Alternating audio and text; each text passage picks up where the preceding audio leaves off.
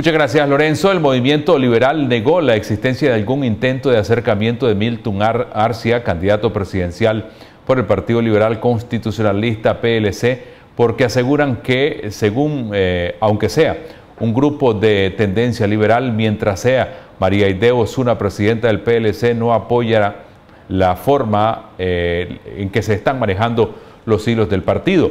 Esta declaración del PLC se dan luego que Arcia en su presentación anunciara que busca unificar el liberalismo en Nicaragua.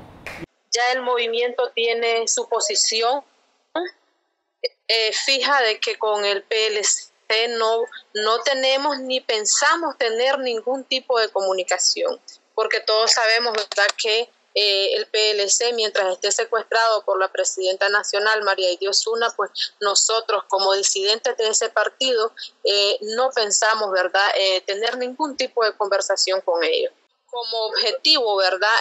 principalmente apoyar a aquel candidato de que sí apoye el pueblo de Nicaragua. Mientras el pueblo de Nicaragua no apoye a ningún candidato de la oposición, pues el movimiento liberal todavía no ha tomado ninguna decisión de que si va a apoyar a alguien en esta en estas elecciones. Pero definitivamente al candidato del PLC eh, ya se ha tomado en la ya se ha tomado por consenso, ¿verdad?, de las bases del movimiento liberal de que no es a esa persona la que se va a apoyar.